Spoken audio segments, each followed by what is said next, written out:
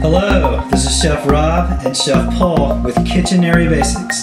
Today we have another video of something just very basic and very simple that you can make in your own home, in your own kitchen that takes absolutely no time at all.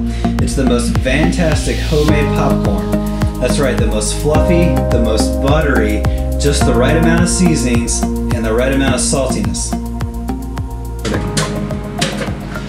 So what you want to start with are your popcorn kernels, your oil. I'm using canola oil. You can use vegetable oil, saffron oil, olive oil. but I wouldn't suggest using olive oil. You've got popcorn salt and popcorn white cheddar seasoning.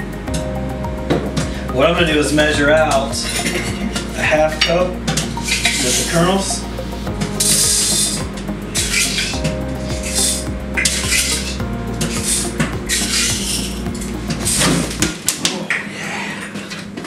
What do you got going on, Paul? That's hot. What's that? That's homemade popcorn. That's correct. That's what I'm making. Well, I was making it this way. well, this is oil. the right way to make it, Rob. Look at this. Mm, I don't know, Paul. I don't know about that now. Me- that smells funny. Well, let me tell you about this. This is the best way to make perfect homemade popcorn. It all depends on the microwave, and it all depends on your microwave skills. And let me tell you a little bit of background here about this. This here is 1100 watt microwave, okay? At home, you may be dealing with more like an 800, 900 watt microwave. Screw that. What you need is a high powered microwave. You need to listen. When the pops get between one and two seconds between the pops, you need to pull that sucker out and you know it's done. You notice I got a minute and 21 seconds left on this thing? I knew when to stop it. Now let me give you a little bit of background on the watt here. Your wattage of your microwave is very important. Like I say, ranges from 900, 800, 1100, sometimes like 80 million. So Depends. But what you've got here is an 1100 watt microwave. Now, Wikipedia tells us that a watt is one joule per second. Wikipedia also tells us that a joule is a precious stone. So now you understand wattage, Rob. I think I've got it. I think. How many seconds did you say between each pop? One to two seconds between pops only. If it gets any wider, you end up with this Good lord, that looks burnt like. popcorn. Mm, I don't want to say what that. looks Anytime this looks like garbage, we're throwing it away.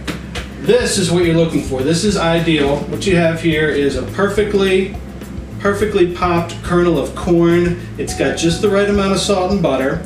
It's just popped right. It's not overcooked. It's not undercooked. If it gets undercooked, it can get lodged in your throat and injure you. Just right. Would you Let like me to try? try. Yes, sir.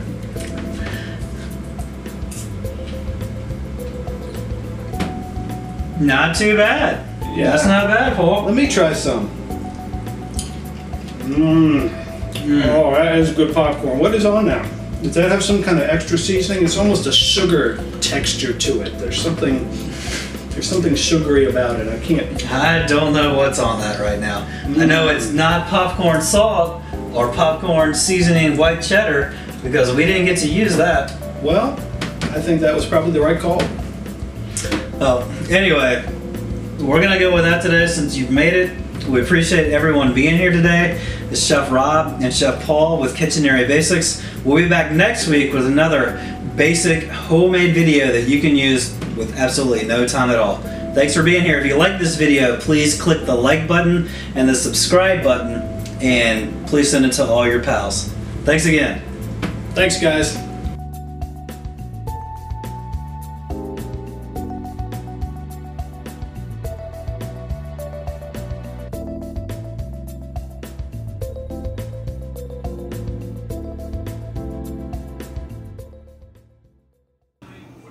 How to the basics of kitchenary. you want to roll with that? yes, that's perfect.